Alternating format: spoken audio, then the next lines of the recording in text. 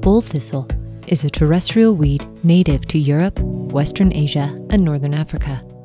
It was introduced to North America during colonial times and then to Western America in the late 1800s, likely as a contaminant in crop seed. It has been reported throughout most of the continent and is the most common and widespread of all pasture and rangeland thistles in western North America. Bull thistle grows best on neutral soils rich in nitrogen and with moderate moisture.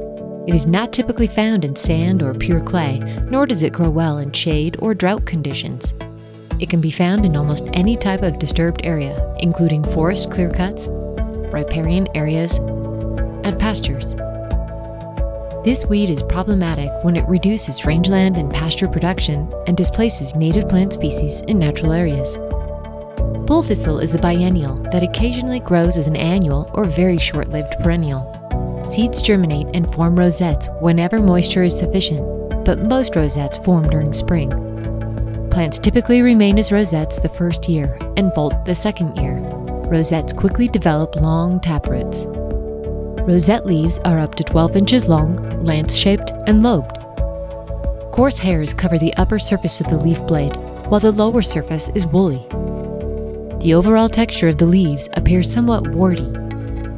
Long yellow spines extend from the midrib and at each lobe, creating dagger like tips. Bolting occurs in late spring of the second year. Stems are erect, 3 to 4 feet tall on average, and can have many branches. Stems are stout, hairy, and have spiny wings along their entire length.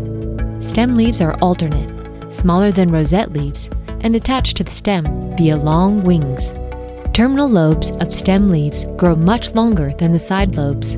Flowering typically occurs from June to July. Flower heads are up to 1.5 to 2 inches in diameter and are usually solitary at the ends of stems and branches, but may also form in small clusters at stem ends. What appears to be one flower is actually a flower head, often containing more than 200 florets, ranging from light pink to deep purple. Bracts at the base of the flower head are narrow, spiny, and tipped in white or yellow. There are often cobwebby hairs between bracts.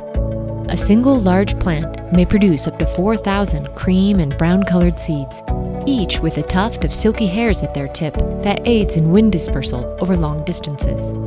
Some seeds may remain viable for many years, though most germinate within three. Plants typically die after setting seed. Over 80 native thistle species and more than 20 exotic thistles occur in North America, and all resemble bull thistle to some extent. Unlike bull thistle, native thistles never have spines along their entire stems. Having the combination of spines along its entire stem length warty textured leaves, relatively large flower heads, and needle like bracts helps differentiate bull thistle from many other exotic thistles. The exotic plumeless thistle resembles bull thistle with its similar hairy and spiny stems and needle like bracts. But its flower heads are much smaller, only up to 1 inch in diameter, and its leaves have shorter spines and a smoother, non warty texture.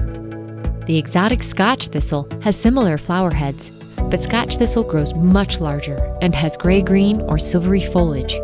The exotic musk thistle has similar large flower heads, however, they are up to 3 inches in diameter. They're often nodding and they have wide, triangular bracts.